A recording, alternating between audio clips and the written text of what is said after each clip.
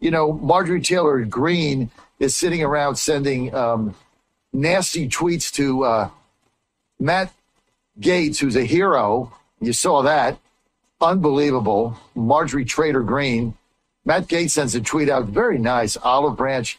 Hey, congratulations, MTG, on your committee assignments. Great to have you back. We're going to do great things. You know, so good this has happened and looking forward to working with you. And she retweets it out with a comment that basically says, go to hell. I'm para- paraphrasing, but it was a, you know, go to hell. You tied Congress up for a week with your nonsense to try to get MTV ratings. And I'm the leading voice of MAGA. That's that's her response. I mean, come on, stop.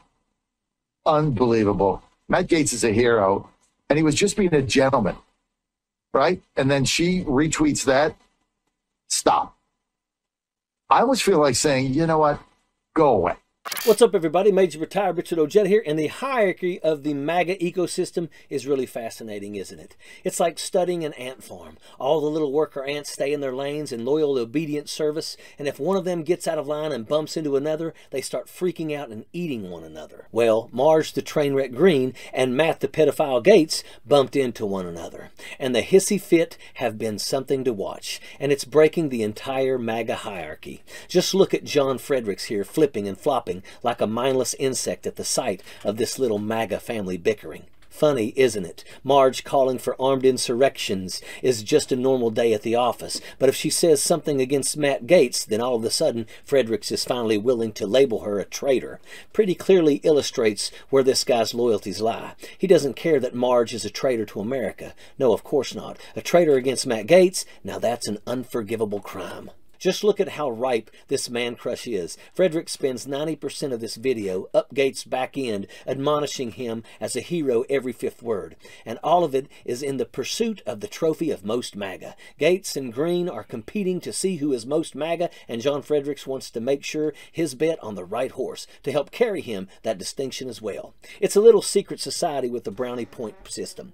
Did you uh, try to overthrow democracy on January the 6th? 10 points for that. Do you worship on the altar of Donald Trump with twice daily prayers and a dollar under your My Pillow for the Trump Fairy Fund? Five points for that. In general, if you're short a significant amount of brain cells and are easily manipulated, you too can be in contention for most MAGA.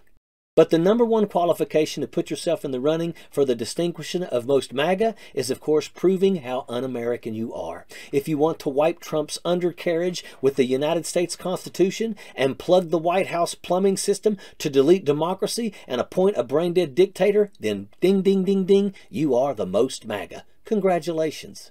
And with Matt Gaetz' cute little charades during McCarthy's speakership failures, it seems like the pitiful, perverted pedophile is half a length ahead, heading into the final turn. All the little right, alt-right podcasters are placing their bets on Fredericks has gone for broke on the pedophile. Wouldn't it be something if these morons actually put their time and effort into people who actually have plans to shape America for the better rather than those whose only goals are flattening their wallets and exonerating themselves of their crimes? But then it wouldn't be Republican politics now, would it? Well, that's about the facts of the situation. So tell me which MAGA monstrosity are you betting on in this horse race? Or better yet, which one is going to fall flat on their face? Because as people who actually care about this country, our goal must be to make sure every one of these MAGA fools end up dead last. And that's a fact. Sappers clear the way, airborne all the way.